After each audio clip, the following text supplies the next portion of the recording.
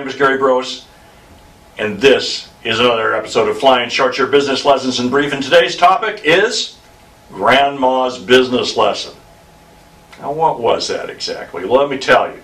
When I was 11 years old, I learned Grandma's business lesson.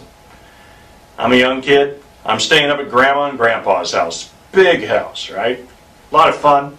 I'm up there, but I couldn't sleep one. So I got up and I'm walking around the house. And I stumble into the kitchen. And it's dark, but over in the corner, in the darkness, I can see Grandma. And she's sitting at the kitchen nook table, and she's sipping some tea.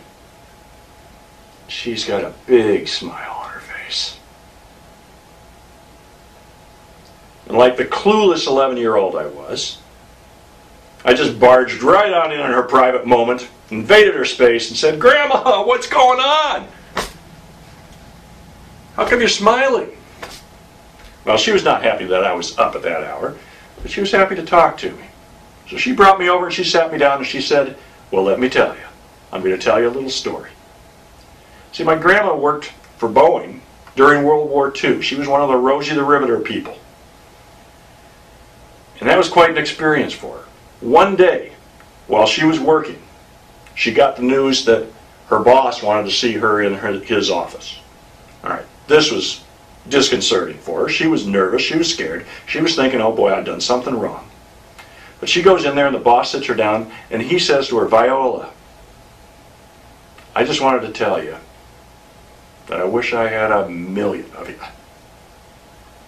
Says, you show up on time, you do great work, you have good spirits, make everybody that you work around happy, you train the new people, you work hard every single day. And I just wanted to tell you that I appreciated it and wanted to thank you. That was it. She didn't get a raise. She didn't get a promotion. She didn't get a uh, top employee parking spot. Nothing. Except genuine, sincere appreciation and thanks. So here she is, 20 years after the fact, sitting in the dark, replaying that moment and enjoying it again. And I'm thinking to myself, wow, that's something. I'm 11 years old. I don't really get it. But I somehow knew that was important. I was young, so I didn't understand. But I'm old now and I do get it. And I know that when we're trying to measure our success as business managers, as people managers, a lot of times we look at our stats, our productivity, our revenue per body, our ROI, our profit margins. We use those as feedback to tell us whether we're doing well or not. And I'm just here to suggest to you that maybe you should have one other thing you look for. Because if you have the opportunity, and you do, that power is with you. You have that opportunity to create a special moment, just like that for every one of your deserving employees. And if you do not take advantage of that opportunity, then you're totally missing the boat. Because there we were. I, get, I get choked up when I just think about it. It was a real experience. There we were sitting in the kitchen nook 20 years later.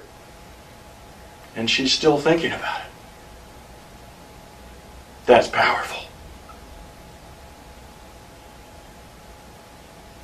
So when you measure your performance and you measure whether or not you've had success, I'm telling you, don't just look at the numbers. Measure your success by the quantity and quality of those soft, silent smiles in the dark that you generate 20 years from now. For only they are the true measurement. And only they endure. My name is Gary Brose. That was another episode of Flying Short, Short Business Lessons in Brief. And you've been a wonderful audience.